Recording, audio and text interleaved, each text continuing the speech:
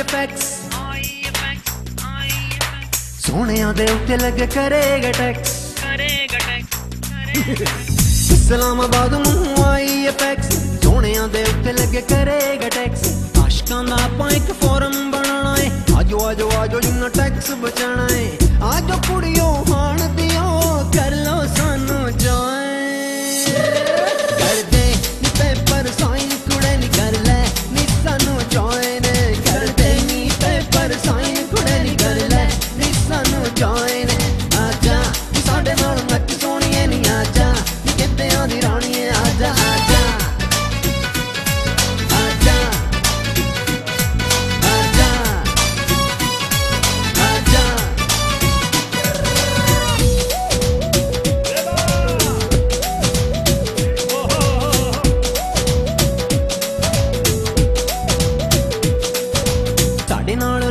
ਤੇ ਨਾਰਾ ਸਾਡਾ ਇਸ਼ਕ ਏ। ਹੋਰ ਕਿਤੇ ਜਾਓਗੇ ਤੇ ਬੜਾ ਵੱਡਾ ਰਿਸਕ ਏ। ਰਿਸਕ ਰਿਸਕ ਬੜਾ ਵੱਡਾ ਰਿਸਕ ਏ। ਰਿਸਕ ਰਿਸਕ ਨਹੀਂ ਬੜਾ ਵੱਡਾ ਰਿਸਕ ਸਾਡੇ ਨਾਲ ਰਹੋਗੇ ਤੇ ਨਾਰਾ ਸਾਡਾ ਇਸ਼ਕ ਏ। ਹੋਰ ਕਿਤੇ ਜਾਓਗੇ ਤੇ ਬੜਾ ਵੱਡਾ ਰਿਸਕ ਏ। ਅੱਧੀ ਕੁ ਕਮਾਈ ਤੇ ਕਲਰ ਨੂੰ ਜਾਏਗੀ। ਬਾਕੀ ਦੀ ਸ਼ਤਾਮ ਤੇ ਵਕੀਲਾਂ ਵਿੱਚ ਜਾਏਗੀ। ਅੱਧੀ ਅੱਧੀ ਰਾਤੀ ਤੇਰੀ ਅੱਖ ਖੁੱਲੇਗੀ ਨਹੀਂ ਜਦੋਂ ਨੈਬ ਵਿੱਚ ਫਾਈਲ ਤੇਰੀ ਜਾਏਗੀ।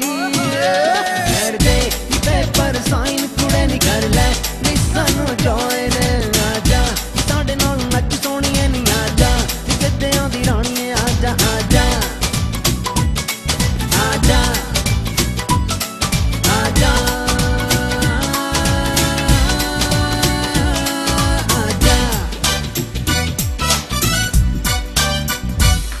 ਲੈ ਵੀ ਛੇਤੀ ਛੇਤੀ ਆਸ਼ਕੀ ਦਾ ਫਾਰਮ ਫਿਲ ਕਰਕੇ ਫੋਟੋ ਛੋਟੋ ਲਾ ਕੇ ਸਾਡੇ ਕੋਲ ਭਿਜਵਾ ਦਿਓ। ਚਿੱਟੀਆਂ ਤੇ ਸੋਹਣੀਆਂ ਨੂੰ ਖਾਸ ਹੀ ਫਾਸੀ ਰਹਿਤ, ਚੀਨੀਆਂ, ਦਖੀਨੀਆਂ ਕੋ ਥੋੜੀ ਜਿਹੀ ਸ਼ਿਕਾਇਤ ਏ। ਹਾਏ।